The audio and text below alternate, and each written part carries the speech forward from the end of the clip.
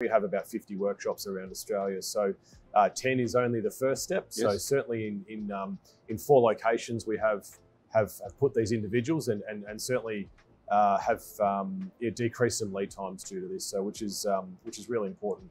Um, but they've also brought a different perspective, different skill set as, as Yes. well, good work ethic and those Yep. types of things. So um, we've we've not only had another pair of hands, but also some Yep. different perspective as well. Okay, that's an interesting point. Mm. So not only help with the skill shortage per se, Yep.